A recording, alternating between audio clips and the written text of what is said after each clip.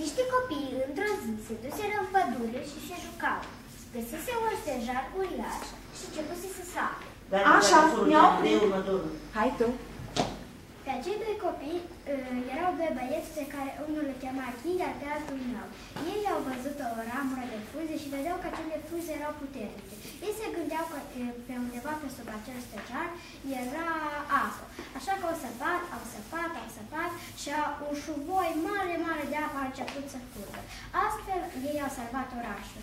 Iar în cinstea lor, uh, sătenii au denumit orașul uh, cu numele lor, Chișinău.